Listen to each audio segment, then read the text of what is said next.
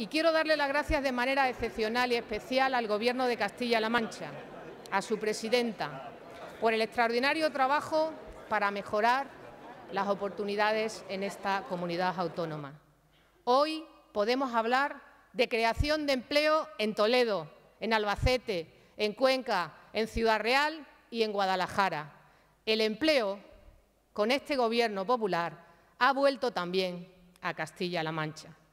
Y no ha sido por casualidad, ha sido porque hay mucha gente detrás empujando, sumando voluntades para hacerlo posible. Castilla-La Mancha es un ejemplo para el Ministerio de Empleo de las buenas prácticas a favor de las oportunidades.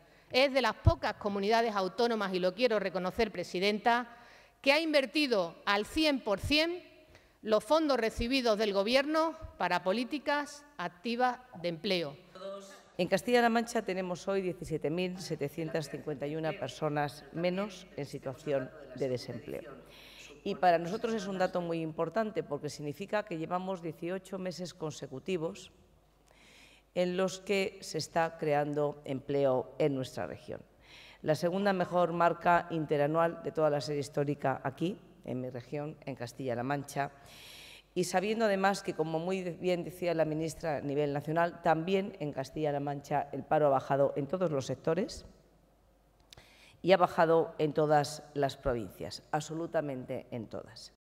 Yo quiero poner de manifiesto que estamos protagonizando entre todos una revolución que va a suponer la creación de riqueza y de empleo en toda España y, desde luego, en Castilla-La Mancha, que estamos inmersos en un proceso de afianzar y de consolidar nuestro crecimiento económico, basado en modelos, algunos de los cuales se refieren a sectores de producción tradicionales, por ejemplo, en nuestra tierra y en otros lugares de España, como pueden ser el sector agroalimentario o el sector servicios o el sector turístico o los oficios tradicionales, pero basado también en la innovación en la innovación perdón, y en el desarrollo.